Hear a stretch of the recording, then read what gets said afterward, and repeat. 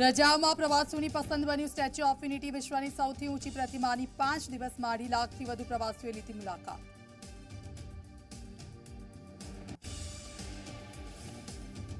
ગોવામાં હરઘર જલ ઉત્સવ દરમિયાન પૂર્વ સરકારો પર પીએમ મોદીના પ્રહાર કહ્યું. પહેલાની સરકાર પાણીની માત્ર વાતો કરતી હતી. અમે વિકાસ પથ પર ચાલવાનું પસંદ કર્યું.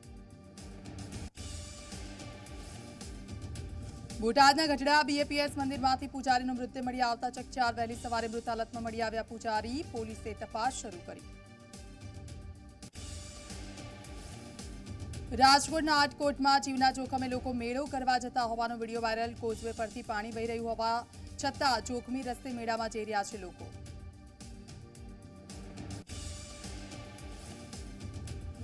રાજ્યમાં જન્માષ્ટમીના પર્વની ધામધૂમથી થઈ રહી છે ઉજવણી. બે વર્ષ બાદ દહીહાંડીની છૂટ મળતા લોકોમાં ઉત્સાહ. સુરત ભાવનગરમાં થયું દહીહાંડીનું આયોજન.